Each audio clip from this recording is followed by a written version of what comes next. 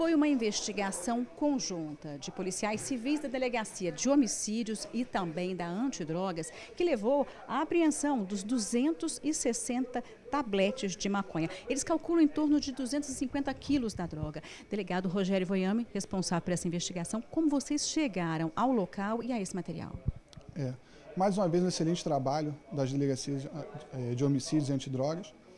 Os autores já eram investigados na antidrogas, é, são contumados, já foram presos até por tráfico. Hoje a delegacia de homicídio chegou com a informação aonde haveria certa quantidade de droga guardada que pertenceria a um desses autores. As, as, equipes se deslocaram, cruzando informações, conseguiram localizar a casa aonde seria o suposto é, armazém da droga, o chamado guarda-roupa. Os policiais entraram na casa, encontraram essa grande quantidade de droga, a certeza que ela pertence toda esse traficante, não são vários, é, ele é o principal autor trabalha com esse outro, o rapaz também está identificado. E ficou bem claro que a casa é, é usada única e exclusivamente para isso, porque ela não tem móveis, não tem nenhum mobiliário, nada. E já foi comprovado por, por outras oitivas e outras provas de que a casa é dele, não há dúvida de que o imóvel é dele, não, tá, não tem é, aluguel, é propriedade dele.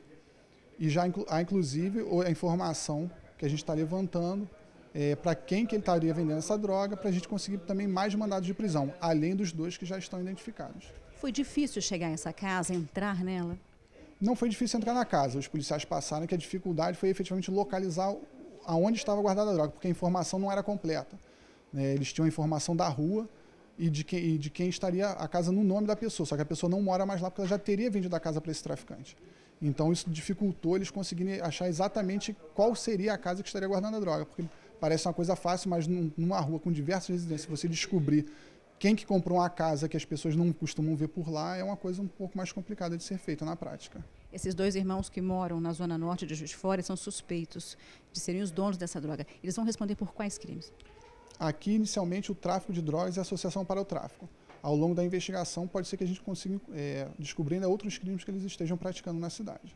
Esse caso mostra a importância da comunidade colaborar com a segurança pública? Com certeza. É, tanto o, o DDU, né, as informações que a gente consegue através do Disque Denúncia, como as informações que a gente consegue em campo, dependem de, em grande parte da sociedade colaborar com o nosso trabalho.